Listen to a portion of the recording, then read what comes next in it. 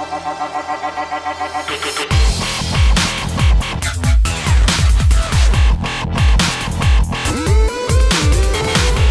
guys, Ash Lane here, coming at you today with a really solid strategy guide from Town Hall 9. Gonna get a lot of 3-star attacks using it. It's gonna be a Queen Walk into Mass Drag. Before we get into that, wanted to tell you guys that uh, if you're not following me on Twitter, at Clash underscore with underscore Ash, I let you guys choose the episode some nights, and today you chose Town Hall 9 Drag Guide. So, here it is. Town Hall 9 Queen Walk Dragon Strategy Guide. Level requirements. Queen. Some people say level 10. I prefer level 15, so I guess 10 or 15 is a minimum level requirement for Queen.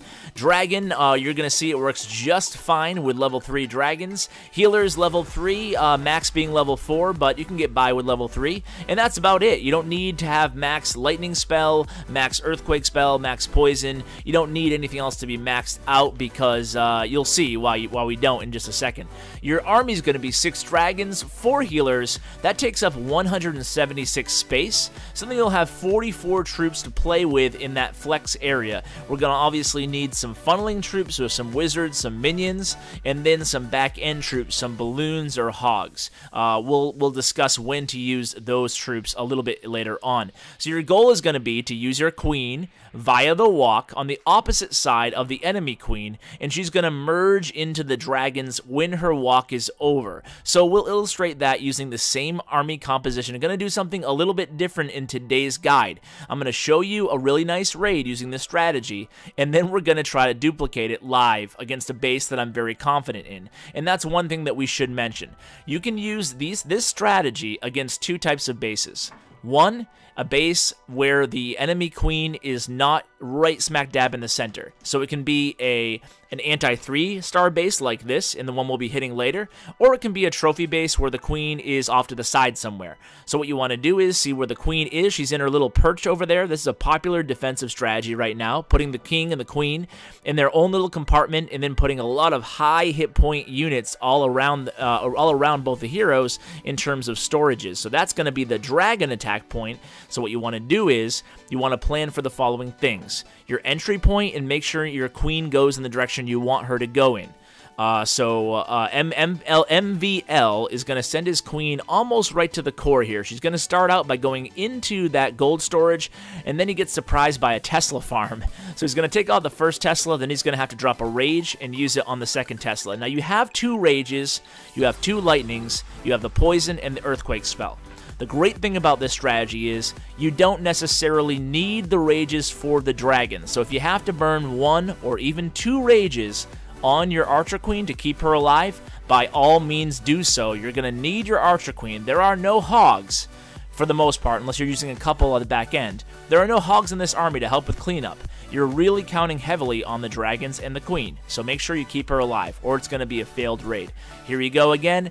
MVL uses his second rage spell, so now he has no more offensive spells other than the lightning, which he's going to use to take down an air defense.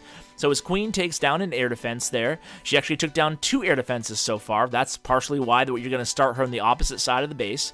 And then you're going to use your lightning and earthquake spells to take out the far side air defense. If there's an air defense close to the queen, uh, her, her in her compartment, like you can see there in the east, you can leave that one because we're going to be using a lava hound in the clan castle.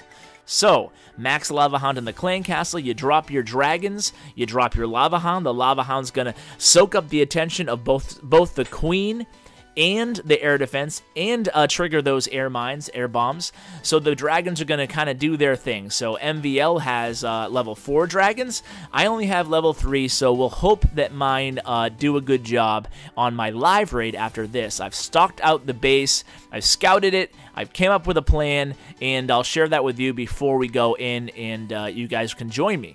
So I'm very confident in the in the battle plan. After watching this attack by MVL, it just works so so smoothly. You're dropping in the balloons here. The balloons are kind of gonna skirt around the edges of the base, providing a little bit of cover for those wizards. And you can see the heroes are still both alive. Just pop the uh, the King's Iron Fist ability, get access to the center of the base. Your heroes at full health are going to do a lot of the cleanup along with obviously all the dragons. There's no air defenses, and you guys know this from your Town Hall 8 days, that if you can take out all the air defenses on a base, it is perfectly viable to go ahead and be dragged. So that is the goal here. That's the goal. With the Queen Walk, you want to take down two air defenses.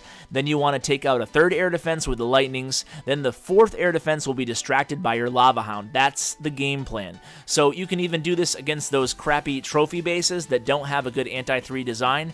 But here's the base that we're going to be attacking here, guys. So it's a really wide, spread out base, and the Queen, again, is up in the top with the King uh, protected by those high hit point storage units outside. You can barely see them up in the north.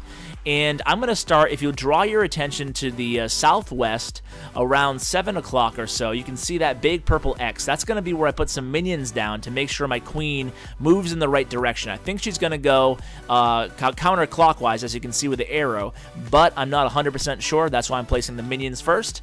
Then the, the queen is going to get to where the K is, where the king is going to go. I'm going to use some wall breakers just in case to, I need to access that air defense, because I want that air defense down down that other that second air defense. And then hopefully the troops will go ahead and migrate around to the dragons. And they'll be coming in in the north all those red lines. That will be my six dragons. And if i have a rage spell left i'll go ahead and use it on the dragons. If i don't i'll just let the dragons do their thing and hope for the best. So that's the game plan. Let's see if i can execute now. So i'll be back in just a second Alright guys, so I am back. We're here live. You can see Yogi got 99% against this base. I believe he tried to go-ho it. We're going to try to get that third star. Uh, there is a dragon in the clan castle. I scouted the uh, the replay. So my attack, my army's ready to go. Really hope I don't mess this up or I'll have to try to find a second video for this guide. so let's go ahead and see what I can do here. So we're going to start with the minions because they're out of shot of any archer tower or anything. So this is like kind of an easy snipe right here. It was pretty obvious that, and then I'm just going to wait just one second and then put my queen down. So the queen is down and hopefully uh, she'll move right if she does not move to the east, then hopefully the minions will be able to cut off enough of the units over there to prevent her from moving the other way, and then she'll redirect. But it looks pretty good. So she's going to go after the mortar, and she's going to go after the, okay, the gold mine. Okay, perfect. So if you want to know which direction your queen's going to go, I guess this is a good time as any live during a raid to promote another video. I did put a queen directional video out, uh, guide, and I find that really helpful. I actually go back to that and watch myself just so I can help gauge which direction she'll move in. We talk about spacing and uh, all, all, kinds of other uh, aspects of the Queen AI. So I'm just getting ready right now to put my king down and my wall breakers. Again, the reason I'm putting the wall breakers is because I want my queen to go inside that this compartment over here to get that air defense down. So here's my wall breakers and the reason I didn't uh, I didn't know if there was a trap there or not, but I figured even if they failed the wall breakers, it wasn't the end of the world. I think with that you know uh, rushed air defense, it wasn't going to be a big deal. Let me drop my uh, dragons now because I want them to merge. So I'm dropping all the dragons. The queen is getting that air defense. Perfect. That's why I made the hole in the wall there. Wasn't sure if it was going to work, but it did. Oh, I forgot to zap this other this other air defense. So I'm zapping the other air defense. I'm going to use my uh, my rage spell. Notice how I didn't have to use a rage spell at all on the queen because that's that bottom half was so light. Gonna use the the barbarian's uh, iron fist ability. Gonna drop the poison there. Gonna drop the uh, rage spell right about now.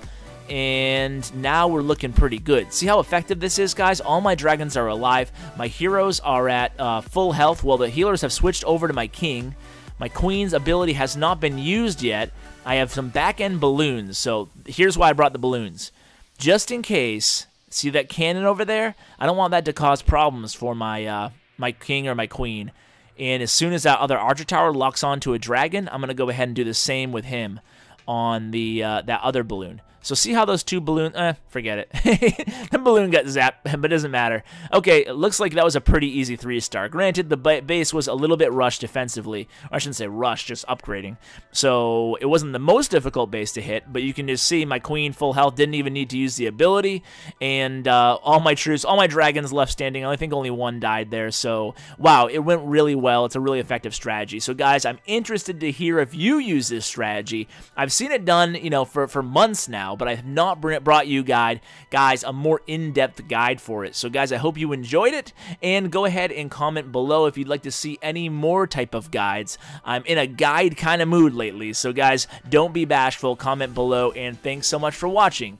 Good luck, and take care, guys.